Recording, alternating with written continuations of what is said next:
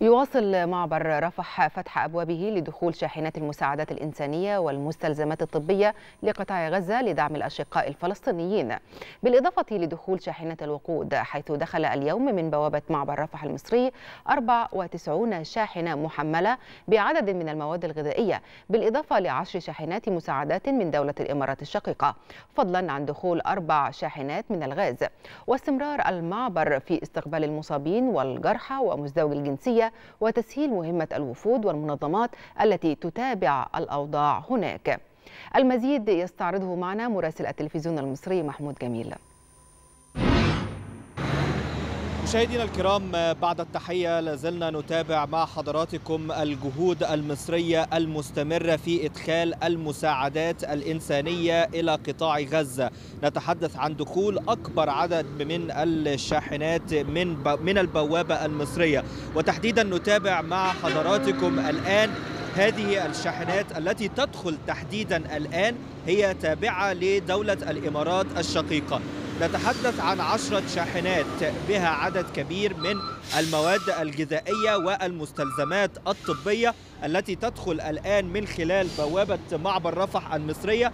ستتجه إلى منفذ العوجة بالطبع إجراء بعض الإجراءات التفتيشية. هذا بالطبع إلى إضافة إلى الشاحنات التي دخلت صباح هذا اليوم. نتحدث عن 94 شاحنة دخلوا بالفعل منذ صباح هذا اليوم متوجهين أيضا إلى منفذ العوجة لتقديم الخدمات الإنسانية إلى قطاع غزة. هذا بالإضافة إلى شاحنات الوقود التي دخلت أيضا صباح اليوم. نتحدث عن أربع شاحنات غاز ستوجهوا بالفعل إلى الجانب الفلسطيني. وبالحديث عن هي جمعية الهلال الأحمر الإماراتي هذه هي الشاحنات التابعة لدولة الإمارات بها عدد كبير المستشفى الميداني.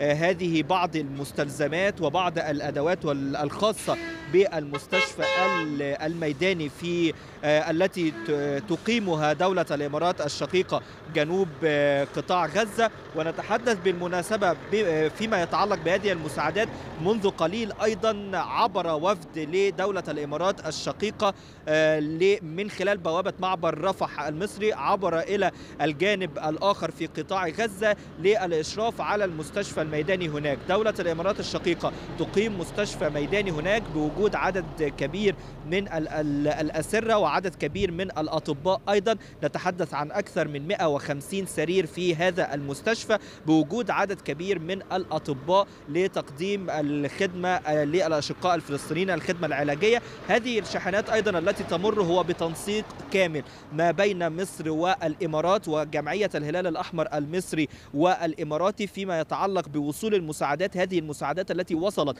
عبر مطار العريش في مدينة العريش ويتم التنسيق لشحن هذه المساعدات ودخولها إلى قطاع غزة. بالإضافة بالطبع إلى الاستمرار في استقبال عدد كبير من المصابين والجرحى وأيضا مزدوجي الجنسية ونشير إلى بالطبع يعني قرب الانتهاء من المرحلة الأولى من المخيم الإغاثي الذي أنشأته جمعية الهلال الأحمر المصري بالتعاون مع جمعية الهلال الأحمر الفلسطيني تنفيذا لتوجيهات القيادة السياسية المصرية بوجود هذا المخيم لإيواء النازحين من شمال غزة. نتحدث عن مرحلة أولى ب 300 خيمة تستوعب أكثر من 1500 شخص دعما للأشقاء الفلسطينيين وتنفيذا لتوجيهات القيادة السياسية. السياسية. هذه هي الصورة من أمام معبر رفح. عودة إليكم مرة أخرى.